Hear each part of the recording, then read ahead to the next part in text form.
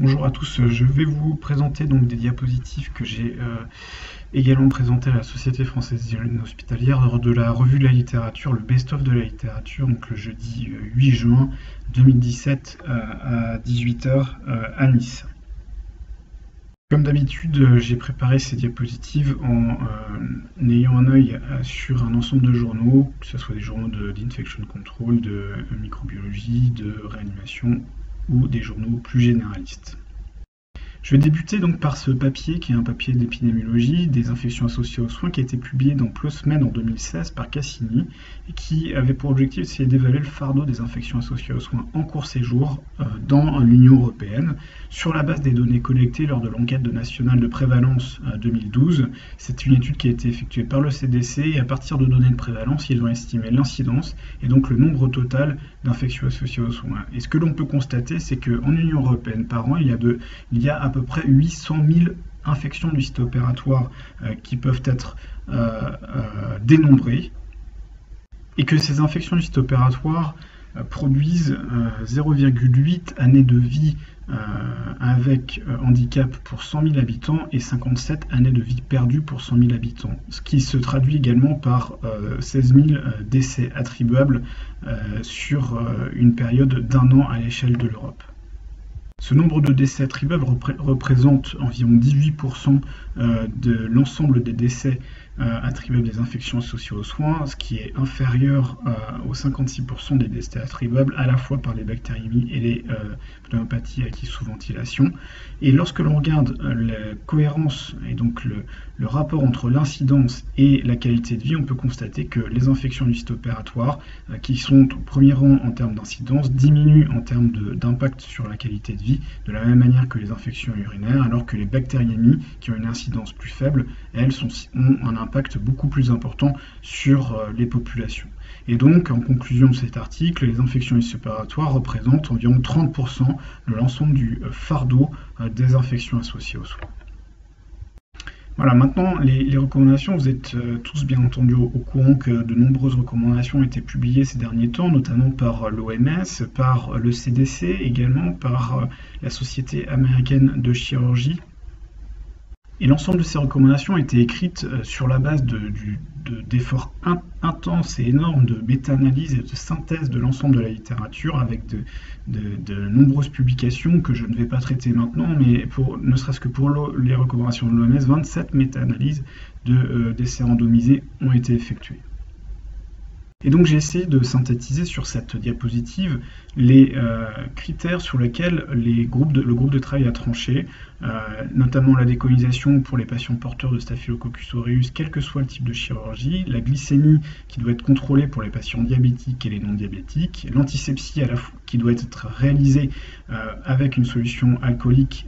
associée à de la chlorhexidine, la FiO2 à 80% opératoire mais également post-opératoire de 2 à 6 heures après donc la, fermeture de, la plaie. Et puis l'arrêt des champs adhésifs pour incision, euh, quel que soit le type de champ, avec ou sans euh, propriété antimicrobienne. Il faut considérer maintenant l'irrigation de la plaie avec polyvidone de avant la fermeture. Il faut également considérer l'utilisation de fils imprégnés de triclosan, quel que soit le type de chirurgie. Plus euh, de nécessité d'avoir de la ventilation unidirectionnelle, même pour la chirurgie orthopédique, et puis l'arrêt de l'antibioprophylaxie après la fermeture en chirurgie propre et propre contaminé. Et comme toute recommandation qui tranche, eh cela a généré des controverses, notamment pour euh, la FiO2 à 80% opératoire, notamment avec des données récentes qui vont à l'encontre de la nécessité de le faire, donc euh, sans impact sur les ISO. Il est considéré également que c'est irréalisable en pratique, qu'il y a des inquiétudes concernant le risque euh, d'hyperoxie, et puis que la décolonisation, ça a été discuté par le professeur Bonten, euh, qu'il est préférable éventuellement, si on souhaite le faire, euh, de la faire de manière systématique plutôt que de dépister et décoloniser les porteurs, et qu'il y a également un intérêt à monitorer la résistance à la chlorhexidine et la mupirocine et de revoir la stratégie en fonction de l'évolution des résistances. L'étude suivante, publiée dans Lancet Infectious Disease en 2017, euh, porte sur euh, le timing de l'antibioprophylaxie, avec pour objectif d'essayer d'évaluer le rapport entre une administration précoce versus une administration tardive de l'antibioprophylaxie, avec un essai randomisé en cluster euh, en Suisse, donc dans deux CHU suisses, en, chirurgie générale, orthopédique et vasculaire. Et donc la chirurgie, l'antibioprophylaxie était administrée dans un bras de 30 à 75 minutes avant l'incision et dans l'autre bras de 0 à 30 minutes avant l'incision, avec comme critère de jugement l'apparition d'infections post-opératoires et la mortalité à 30 jours.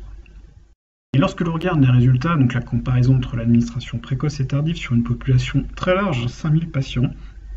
on peut constater qu'il n'y a pas de différence concernant euh, l'occurrence d'infection du site opératoire, qu'elle soit superficielle, profonde ou d'organes d'espace, ni en termes de mortalité à 30 jours, ni même en termes de durée de séjour. Ces résultats étaient valables quel que soit le type de chirurgie, avec une conclusion qui euh, consistait à dire que l'administration précoce ne, se traduisait pas par moins d'infections opératoires et que les recommandations suisses devaient rester telles qu'elles étaient, c'est-à-dire 60 minutes avant l'incision. Le vrai message étant de dire qu'il faut euh, administrer de l'antibiotique en fonction de sa pharmacocinétique, sa pharmacodynamique. Une étude maintenant qui a essayé de répondre à une controverse récente aux États-Unis entre les chirurgiens et les euh, infirmières de bloc opératoire concernant le port de la coiffe. En comparant hein, dans une étude avant-après le port d'une coiffe ne recouvrant pas l'ensemble des cheveux par rapport à une euh, charlotte. Et donc ils ont réalisé cette étude euh, sur 16 000 interventions de neurochirurgie. Avant, donc, il y avait la possibilité de porter soit l'un soit l'autre. Et après, l'obligation de porter que la charlotte. Et donc ils ont comparé euh, durant ces deux périodes les infections opératoires il n'y avait pas de différence en termes de taux, euh, de différence significative. Euh, ce qu'il faut regarder dans cette étude, c'est l'analyse qui a été effectuée qui ne prend pas en compte l'ensemble des facteurs confondants. Donc c'est une analyse assez brute et il faut faire donc attention à ces résultats et ne pas les prendre forcément au pied de la lettre. Passons maintenant sur des articles plus de l'ordre du concept, et notamment sur l'engagement du patient, avec cet article d'Annal of Surgery de 2017, qui avait pour objectif de voir quel était l'impact de l'amélioration de la réhabilitation précoce post-opératoire sur la prévention de l'infection associée aux soins. Et donc c'est une méta-analyse d'études qui ont été effectuées sur euh, ces euh, méthodes de réhabilitation précoce, avec comme principe d'engager la famille euh, et le patient dans l'amélioration rapide de la phase post-opératoire, de délivrance de bundles de soins qui sont basés sur l'évidence pour diminuer la durée médiane de séjour, et puis de minimiser le stress qui est la chirurgie, d'optimiser euh, le point de vue et la perception du patient, et puis de restaurer la physiologie aussi vite que possible après la chirurgie. Il a été donc effectué 41 comparaisons euh, versus euh, soins conventionnels en chirurgie générale et gastro-intestinale. Et donc les résultats n'ont rien de bien surprenant. Plus euh, la réhabilitation est rapide, moins il y a de risques de survenue d'infections associées aux soins, notamment d'infections pulmonaires, urinaires ou d'infections du site opératoire. Et ce qu'il faut retenir de, ce, papier, c'est un peu le concept de travail d'équipe, de culture sécurité et de communication sur les résultats de la chirurgie et de transdisciplinarité en coordination avec la phase préopératoire, entre la phase préopératoire et euh, après la sortie du patient. Et je me suis permis de sélectionner ce papier pour euh, citer euh, des documents qui, ont, se sont qui, sont, euh, qui ont été publiés récemment, notamment un document de la Haute Autorité de Santé sur la coopération entre anesthésistes, réanimateurs et chirurgiens, et puis sur un document qui a été publié en Angleterre par la Royal Society of Surgery, qui vise à essayer de créer un nouveau poste, une nouvelle spécialité qui s'appelle Perioperative Staff, qui a pour objectif de prendre en charge le patient avant l'arrivée à l'hôpital jusqu'après sa sortie à son domicile de manière à gérer l'ensemble des facteurs transversaux, euh, notamment euh, physiologiques, la normothermie, normoglycémie, l'antibiothérapie et tous les, tous les facteurs qui, vont intervenir dans la prise en charge du patient tout au, au décours de son parcours de santé et de soins.